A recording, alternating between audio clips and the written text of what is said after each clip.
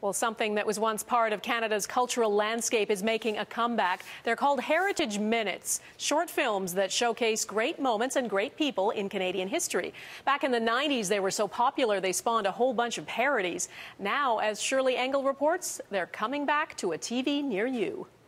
Before the sun falls behind these hills, our enemy will have fallen before you. They're the iconic short films that taught Canadian history to a generation held off the Americans for hours to help. We got this exclusive sneak peek at the latest Heritage Minute to be launched Wednesday. 60 of these vignettes have aired on TV and in theaters since the 1990s. If you're anywhere between about 25 and 40, chances are that you grew up watching these. Richard Pierpoint was enslaved in Senegal. Ottawa is funding six more of these short films. The Historica Dominion Institute will produce two a year until Canada's 150th birthday in 2017 burnt toast. Dr. Penfield, I can smell burnt toast. They took up so much airtime, several spoofs were made. Cut, cut, cut.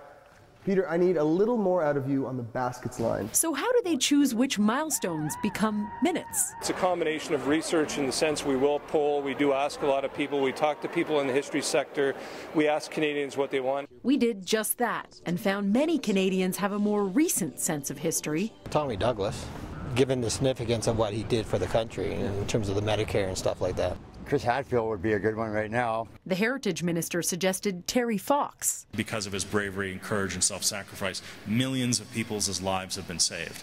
Two more are already in the works Sir John A. Macdonald, in anticipation of his bicentennial, and Sir George Etienne Cartier, the French father of Confederation, whose 200th birthday is also coming up. Producers want to focus on the stories we've all but forgotten.